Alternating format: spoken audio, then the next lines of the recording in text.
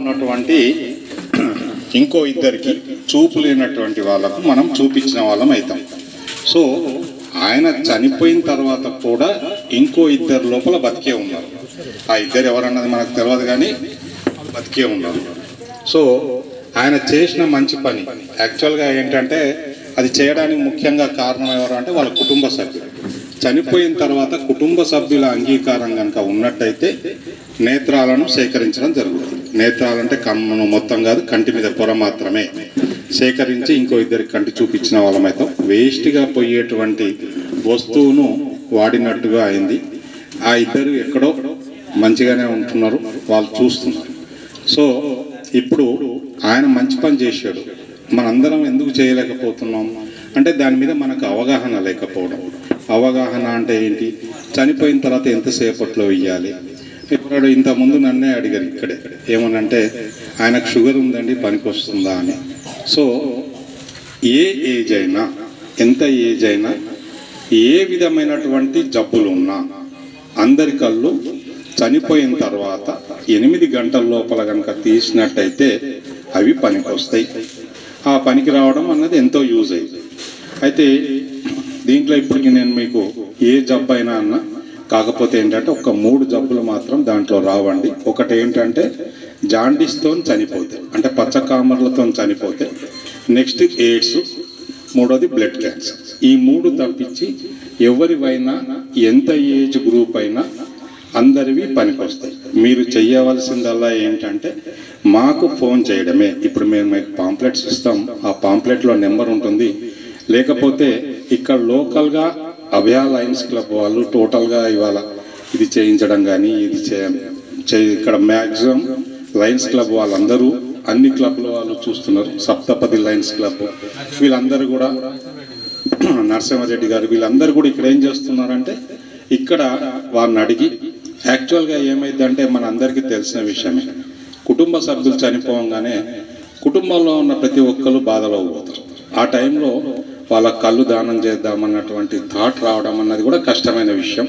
ఆ టైంలో పక్కన ఉన్నటువంటి వాళ్ళు ఏమండి మనం కళ్ళను కనుక దానం చేద్దామా? అని చెప్పి అనుకుంటే వాళ్ళు కనుక ఒప్పుకున్నట్టయితే మాకు ఫోన్ చేస్తున్నారు. మేము ఖమ్మం నుంచి ఇక్కడ దాకా వచ్చి తీసుకోవడం జరుగుతుంది.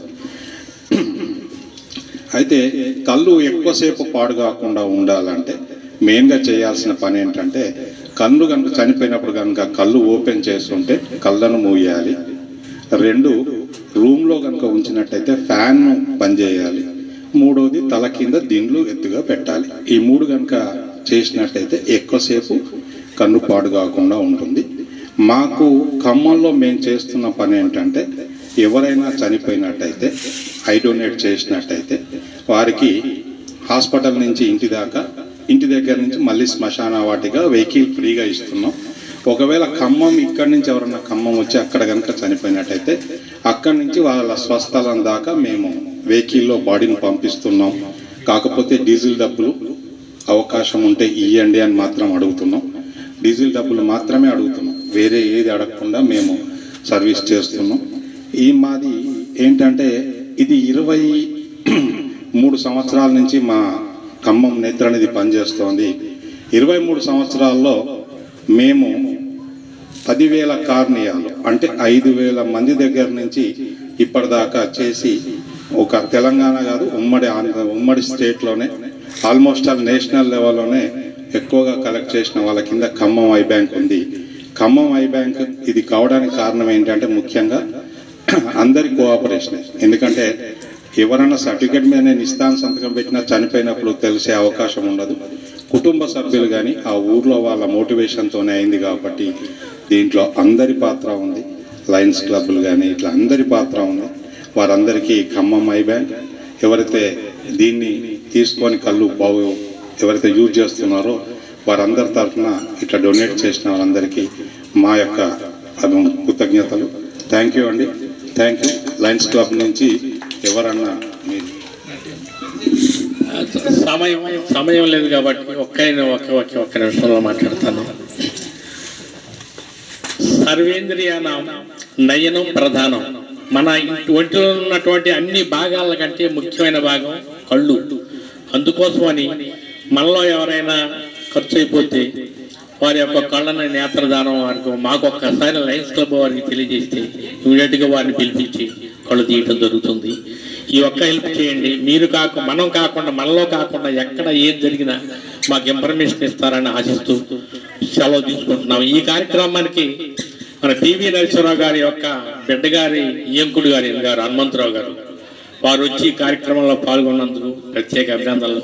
అదేవిధంగా డాక్టర్ గారు హరిప్రసాద్ గారు కూడా ఈ కార్యక్రమానికి వచ్చి పాల్గొన్నందుకు ప్రత్యేక అభినందనలు. ఈ కళ్ళు దానం తీసినటువంటి బండురాములు గారి యొక్క పిల్లలైనటువంటి ఇద్దరు బాబులు కూడా ప్రత్యేక అభినందనలు తెలుపుకుంటున్నాము.